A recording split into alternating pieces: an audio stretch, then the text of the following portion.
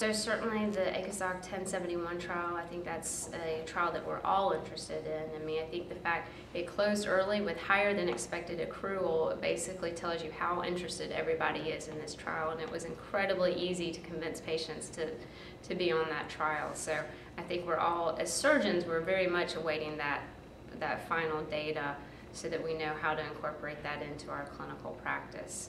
Certainly, I think the SWOG RxPONDER trial, um, everybody's excited to see what those results are and could really benefit patients.